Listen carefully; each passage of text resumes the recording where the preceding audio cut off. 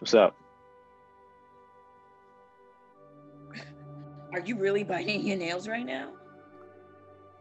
I'm just here to listen. Like biting my nails does not affect my hearing. So, what's what's your issue while you're here?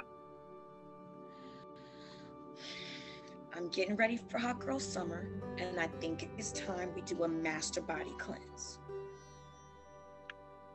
Damn, a, a hangnail. I hate when I get hangnails. Oh my god, this hurts. My bad. What, what, what, did, you say? Listen to me before I have somebody hack your computer. I'll deal with this hangnail later. My bad. But tell me why you're here again, please. I am getting ready for hot girl summer, and I think it's time we do a master body cleanse. Get it all out.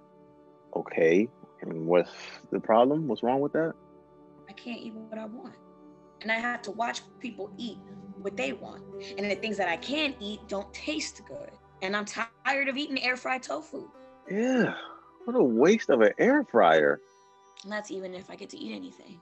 And I'm always hungry, but most days I have a smoothie for breakfast, lunch, and dinner. That's expensive. That sounds like a lot of fruit you got to use. Nah, I just have the same smoothie all day. I have a couple of sips for breakfast, a couple of sips for lunch, and a couple of sips for dinner. And shit, if I got a little left over, then shit, that's dessert. This cleanse sounds miserable and it doesn't sound sustainable.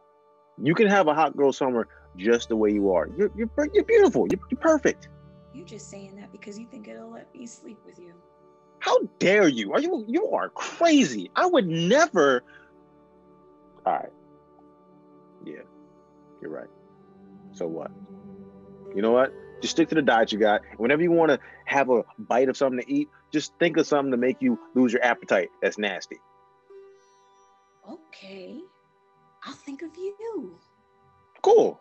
Glad I could help.